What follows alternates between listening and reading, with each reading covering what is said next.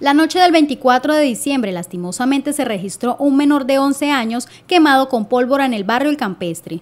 Según cuenta su progenitora, el niño se encontraba jugando con otros menores cuando tiraron un papatrueno. El menor pensó que no estaba prendido y lo tomó con su mano. Al explotar el artefacto, le causó quemaduras de segundo grado en su mano derecha en el dedo meñique. Lastimosamente, en la noche del 24 de diciembre, resulta un masculino, un menor de 11 años, quemado con pólvora quien es asistido acompañado por su señora madre a un centro asistencial, quien presenta quemaduras de segundo grado en mano derecha de Dominique. Refiere que al parecer se encontraba con unos amigos y tiran un papatrueno. Pensó que estaba prendido, lo cogió y lastimosamente le explotó. Con este nuevo caso ya son cuatro personas quemadas con pólvora en Barranca Bermeja, por lo que las autoridades hacen el llamado a la ciudadanía a unirse a la campaña La pólvora no es un juego de niños.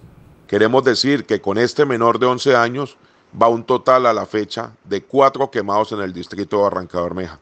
Queremos unirnos, queremos que se una completamente a nuestra campaña La pólvora no es un juego de niños, campaña del Cuerpo de Bomberos Voluntarios de Barranca Bermeja.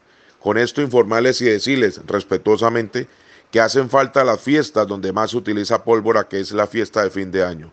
Únase, vincúlese, no le perdamos en ningún momento el rastro a nuestros menores porque no queremos más personas quemadas en el distrito de Barranca Bermeja. Se espera que durante la celebración de fin de año no se registren más personas quemadas con pólvora en el distrito.